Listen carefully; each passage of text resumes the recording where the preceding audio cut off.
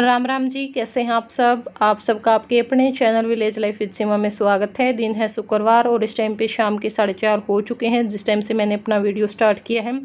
तो सुबह में कपड़े धुले थे क्योंकि आज वीडियो नहीं गई थी एडिटिंग का काम तो था नहीं तो मैंने सोचा कि चलो मैं साथ में मशीन भी लगा लेती हूँ। और सूख चुके हैं सारे तो बस अब तह लगा करके रख दूँगी, क्योंकि हाल फ़िलहाल अब कोई और काम तो है नहीं। काम मतलब जो डेली रूटीन का काम होता, वो तो है नहीं, वैसे तो चलता ही रहता है। क्योंकि करने वाले के लिए तो कमी नहीं होती, और जिसको नहीं करना होता, उसके लिए कोई काम होता ही नहीं है। फिर भी कपड़ों का भी काम ही था, क्योंकि ये जब पर, तक बेड पर पड़े रहते हैं, तब तक यही लगता है कि सारा काम बिखरा हुआ है। तो बस अब मैं इनको तह लगा करके रख दूँगी। और ये सूट मेरा कंप्लीट हो चुका है, लेकिन तुरपाई का काम रहता है तो तुरपाई भी करूँगी मैं टाइम लगा करके। और आज से पानी मंगवाया है, क्योंकि मेरे सिर में बहुत तेज़ बड़ा दर्द है दोपहर से ही। तो थोड़ी थोड़ी देर बाद मैं बहुत सारा पानी पी चुकी हूँ। और यही होता है, जब ठीक ठाक होती हूँ, तब तो क्या पता चार गिलास पानी भी ना पीऊँ मैं पूरे दिन में। मुझे याद ही नहीं होता, मैं एक सुबह में तो पीती हूँ, जब उठती हूँ बाद का तो मुझे पता ही नहीं होता, मैं पानी पीती हूँ या नहीं पीती हूँ। जब दर्द होता है, तब पाँच पाँच दस दस मिनट में ये बड़ा गिलास पानी का मैं पीती रहती हूँ। और जय को मैंने अपने पास में ही बिठा रखा और बहुत मुश्किल है इसको यहाँ पे रोकना, क्योंकि ये बाहर जाने की कोशिश में है। और क्या करता है ना, मिस्त्री लगे हुए हैं तो बाहर उनके बिल्कुल सिर के ऊपर खड़ा हो जाता है ऐसे डूँगे पर हाथ रख कर इलता भी नहीं वहाँ से। मिस्त्री रहेंगे तब तक इस लड़के को ये होता है, अगर हम बस ज़बरदस्ती नीचे लेकर के आ जाए तो अलग बात है, वरना वहाँ से नहीं लेगा। और मैं बोल रही थी कि बेटा तेरे पापा तो सामान दे करके मिस्त्री को देखें या ना देखें, लेकिन लड़का पूरी निगरानी में रहता है कि हाँ क्या कर रहे हैं, कैसे कर रहे हैं, क्योंकि फिर उसको वो सारी चीज़ कॉपी भी तो करनी होती है ना, फिर वो सारी नकल करता है कि हाँ अब ऐसे किया है और फिर सेम वही चीज़ करने की कोशिश करता है। तो बस अब ये यहाँ तक आ चुका और धीरे धीरे ये चला भी जाएगा यहाँ से। मतलब गया गया।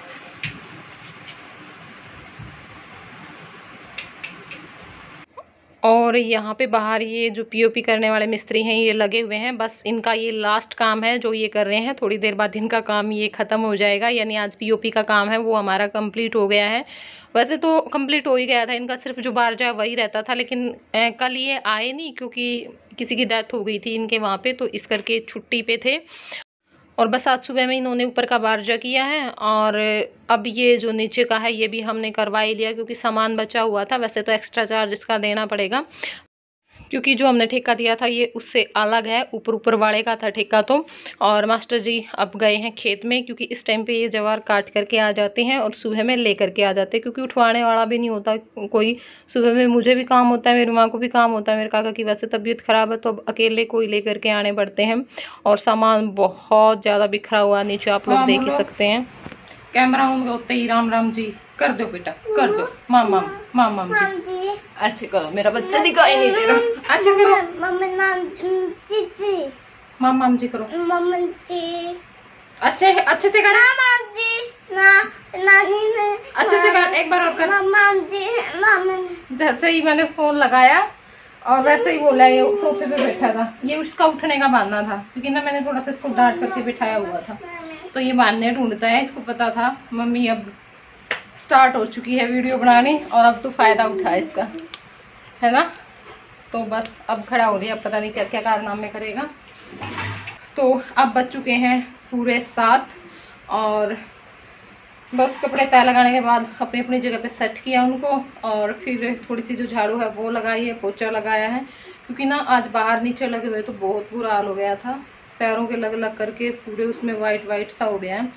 तो बस अपना वो काम निपटाया है। और अब करूँगी मैं आप लोगों के साथ कूड़े की रेसिपी शेयर क्योंकि मेरे पास कमेंट आया था।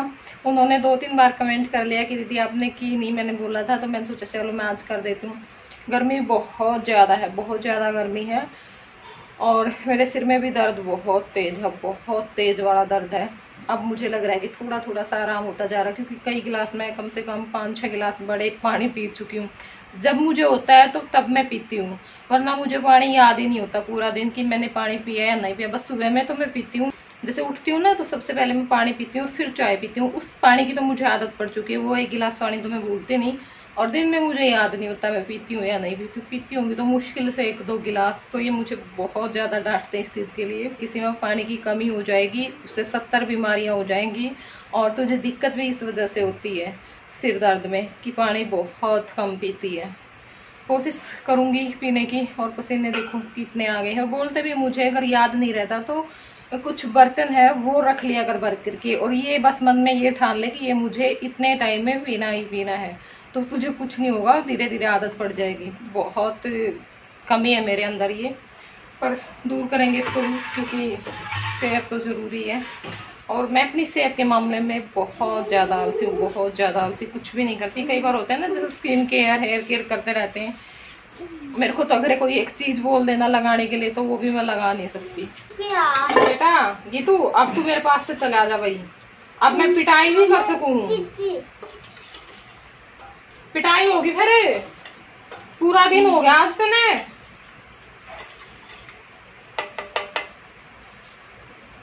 लगा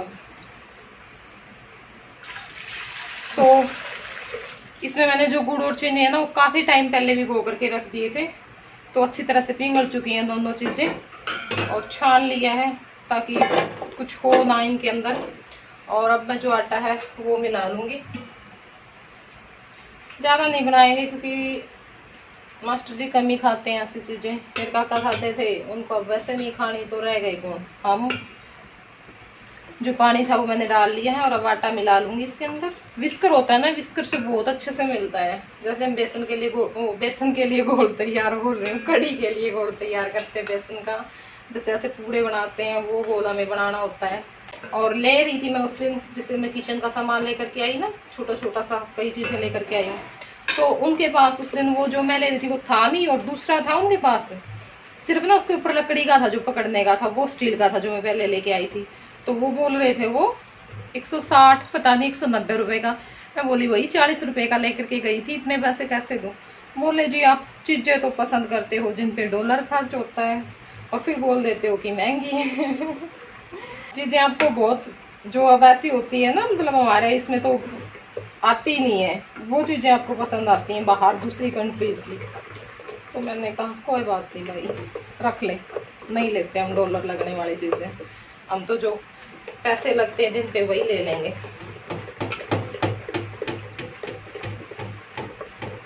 क्योंकि ना, कहीं मैं ऐसे फ़ोटो ही खींच के लेके जा रही थी, किचन के सामान की भी। वो मैंने उनको दिखाई ना तो उन्होंने मना कर दिया कि हमारे पास ये चीज़ें नहीं मिलेंगी। जी। ठीक है भाई, कोई बात नहीं। और थोड़ा सा पानी और मैंने इसके अंदर डाल दिया है। क्योंकि ना इसका जो गोल है वो ऐसा होना चाहिए कि हम तवे पे डाल लें और वो अपने आप फैल जाए।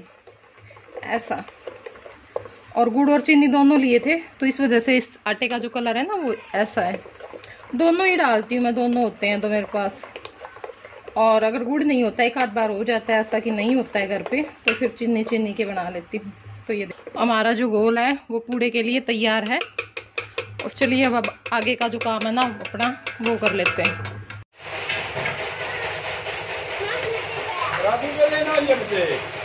तो गैस मैंने बाहर रख ली है क्योंकि अंदर बहुत गर्मी थी और बहुत दिन हो गए ऐसे आँगन में बैठ करके खाना बनाए हुए। बहुत दिनों से मन कर रहा था। लेकिन हमारा जो चूल्हा है ना, वो मतलब जो बाहर रखने का, उस पर मिट्टी लगानी अभी रहती है, ले तो लिया था हमने सीमेंट का और हीटर हमारा ख़राब हो रखा है। तो इस वजह से मैं नहीं बना पाती हूँ यहाँ पर बैठ करके। और यहाँ पे हो गई थी बहन भाइयों की दोनों की लड़ाई। आराध्या का कसूर तो नहीं होता, ये ना छेड़खानियाँ बहुत ज़्यादा करता है, उसकी पिटाई भी कर देता कई बार और फिर कई बार तो वो नहीं कुछ कहती और कई बार गुस्से में हो गए, ना इसको ज़्यादा पीट देती है।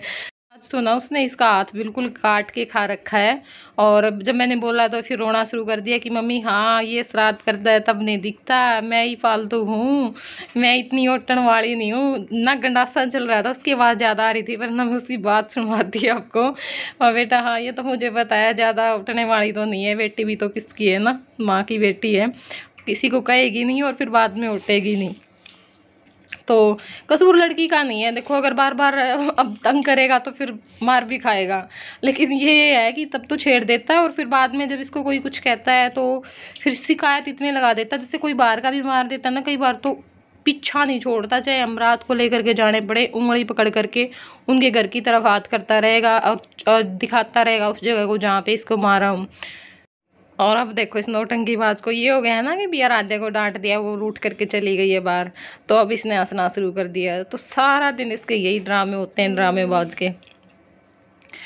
तो बस यहाँ पे जो तवा है वो मैंने गर्म होने के लिए रख दिया था और उस पर जो तेल है वो भी लगा दिया है ताकि जो मैं डालूँ गोल, वो इस पर चिपके ना।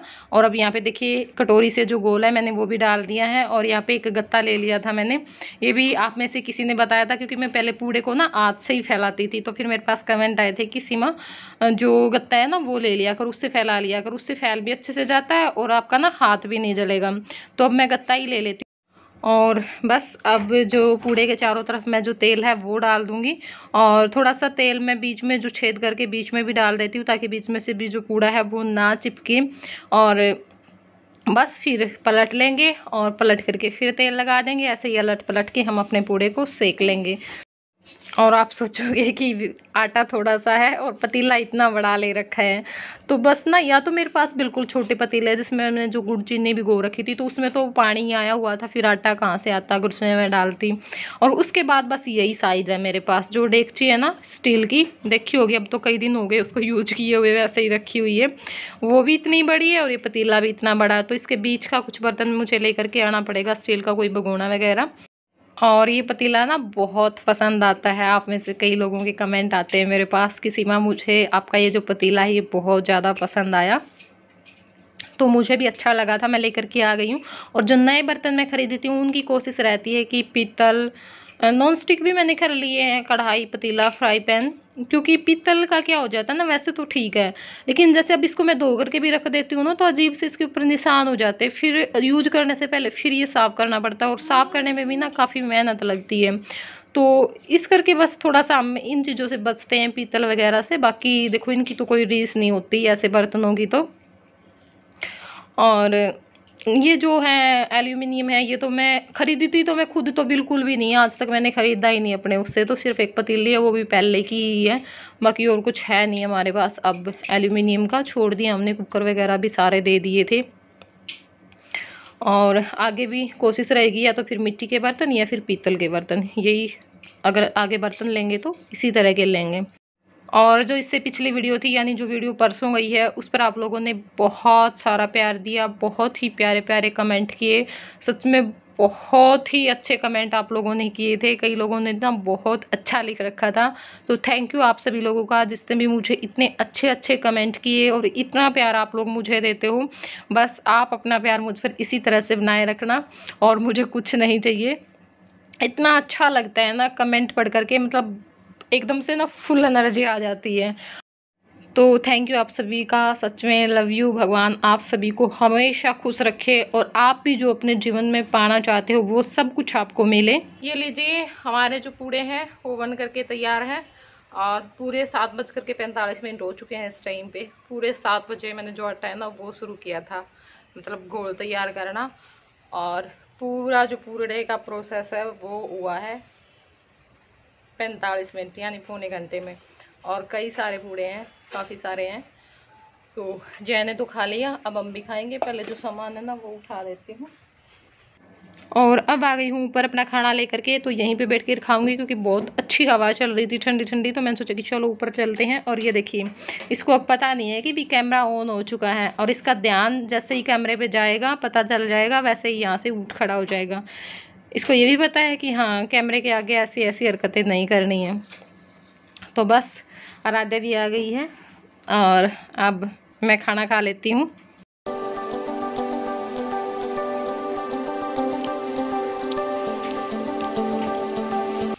और इस टाइम पे हो चुके हैं साढ़े नौ तो खाना खाने के बाद काफ़ी टाइम तक तो मैं ऊपर ही बैठी रही, ऐसे ही फ़ोन पे बात करती रही और फिर नीचे आकर के मैंने अपने कपड़े धुले जो रहते थे धुलने और बर्तन साफ़ किए।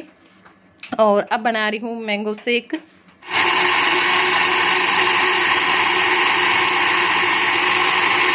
तो मैंगो शेक हमारा बन करके तैयार है और मिल करके तो मैं वीडियो का एंड नहीं करने पाई क्योंकि ऊपर अंधेरा था और यहाँ नीचे मेरे काका होते हैं इस टाइम पे इसलिए।